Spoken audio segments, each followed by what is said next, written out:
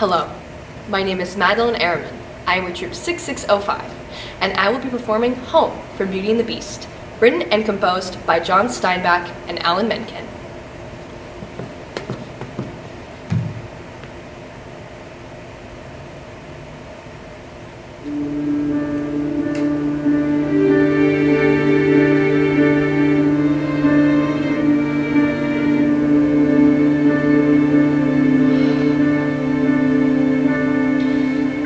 I made the choice. For Papa, I will stay.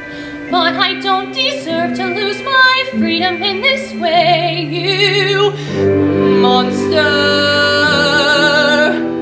If you think that what you